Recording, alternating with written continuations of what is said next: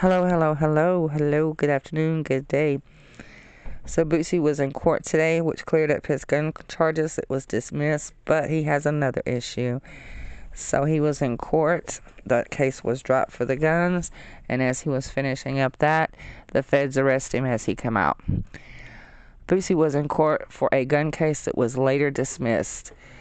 That's what a spokesperson for the San Diego District Attorney's Office has stated.